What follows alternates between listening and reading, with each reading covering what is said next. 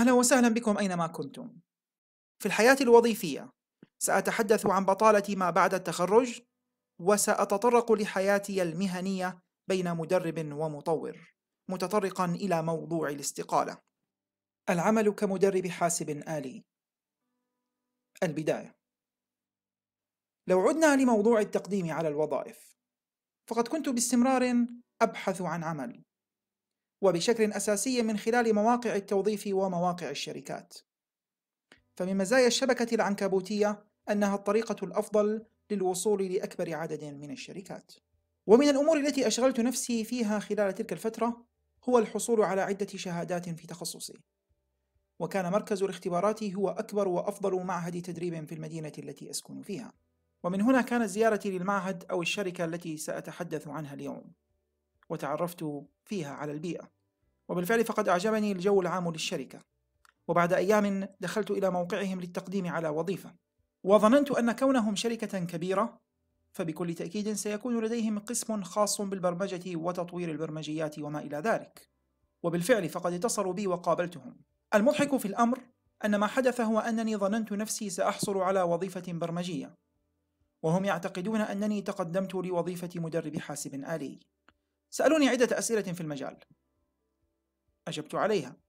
وفي نهاية المقابلة اكتشفت أنهم يتحدثون عن التدريب. وأنا بحكم فقدان الأمل من الوظائف قمت بالمسايرة وأكملت معهم للآخر.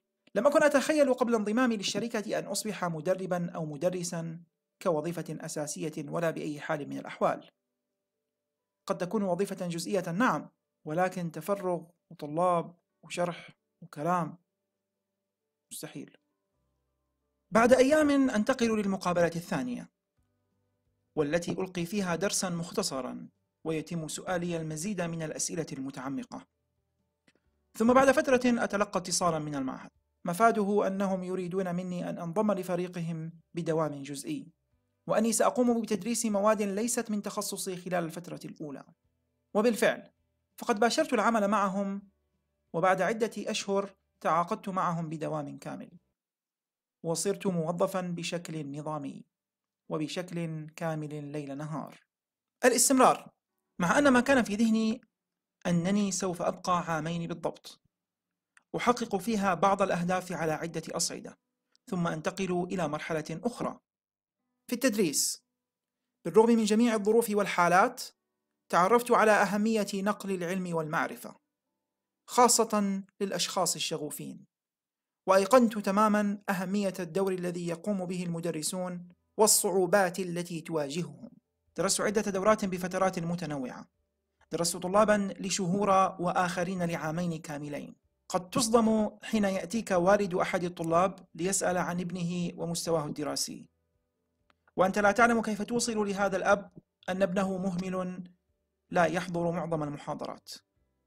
وفي المقابل يأتيك والد طالب آخر ليطلب منك إذنا لابنه عن محاضرة كل أسبوع لظرف صحي هام لأن ابنه لديه موعد أسبوعي لغسيل كليتيه. والأمثلة لا تنتهي.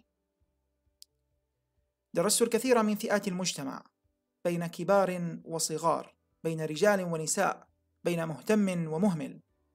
درست في مواضيع متنوعة ولم أقتصر على تخصصي. وهو أمر سلبي عموما بالرغم من إيجابياته. ومرت الأيام والأشهر بل والسنوات التي يصعب تلخيصها في دقائق في هذا الفيديو.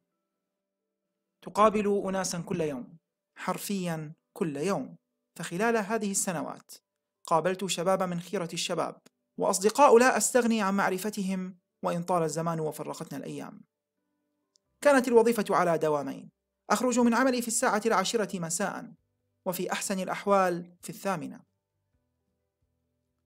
مرت الأعوام من الأولى وحتى الخامسة ثم انتهت رحلتي في التدريب أو التدريس فالتسمية ليست بالأمر الهام هنا.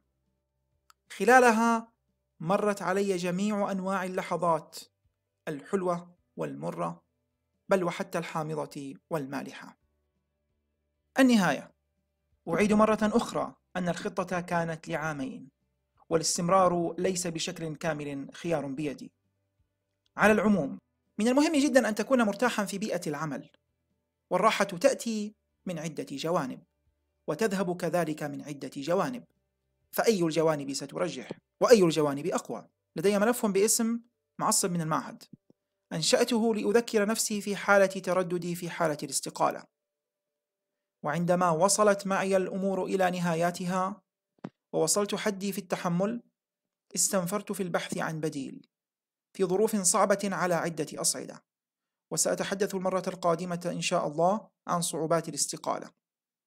لكن ولله الحمد والمنة فقد يسر الله جميع أموري وهيأ لي جميع أسباب التيسير وتركت عملي وانتقلت بفضل الله للأفضل.